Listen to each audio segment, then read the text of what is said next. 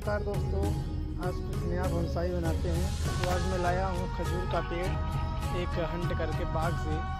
तो इसकी रूट को काट लेते हैं। फिर इसके बाद लिप को भी हटा लेते हैं थोड़ा थोड़ा आज हम इसकी बनाएँगे बोनसाई और आपको भी सिखाएँगे बोनसाई बनाना। सबसे पहले इसका सॉइल मिक्सचर देख लेते हैं। ये वर्मी कंपोस्ट है और ये हो गया हमारा बालू क्रैसर और अब ले लेंगे हम मिट्टी। आप खजूर का पेड़ वैसे कहीं से भी ले सकते हैं। आपको अगर, आप विलेज साइड से हैं तो आपको बाग में यहाँ खजूर का पेड़ होगा तो वहाँ छोटे पेड़ खजूर के मिल जाएँगे। तो इनकी बोनसाई आप भी ट्राई कर सकते हैं। फ़िलहाल हम तो ट्राई कर ही रहे हैं।